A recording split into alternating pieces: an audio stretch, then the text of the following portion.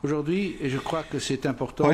hat sich der Rat noch einmal der ganz besonders wichtigen Entscheidung gewidmet vom 14. September hinsichtlich der Umsiedlung von Flüchtlingen zugunsten Italiens und Griechenlands. Wir haben dazu einen Bericht der Umsetzung durch die Kommission gehört von meinem Freund Dimitris Avramopoulos.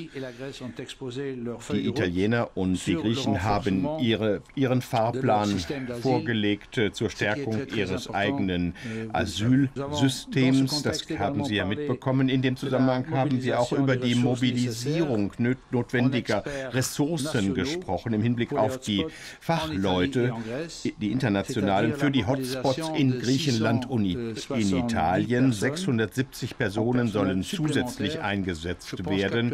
Ich glaube, zum jetzigen Zeitpunkt haben wir zwischen 50 und 70 Experten äh, vor Ort und dies läuft über Frontex. Weitere 99 Experten werden über das äh, Programm EASO zur Verfügung gestellt, um hier auch äh, die nötigen Kräfte zur Verfügung zu stellen, dass die Flüchtlinge registriert werden können, ihre Fingerabdrücke genommen werden können und erste Gespräche geführt werden können. Das ist äh, auch zu Griechenland äh, sehr wichtig. Griechenland hat einen sehr ehrgeizigen, einen sehr ehrgeizigen Fahrplan. Es geht ja auch hier nicht darum, Griechenland in irgendeiner Form zu bevormunden, sondern wir müssen Griechenland mit allen Mitteln unterstützen, die wir zur Verfügung haben. Denn Griechenland befindet sich augenblicklich in einer sehr schwierigen Situation, nicht nur politisch oder finanziell, sondern insbesondere im Hinblick auf die geografische Lage des Landes. Und da müssen wir tatsächlich Griechenland helfen.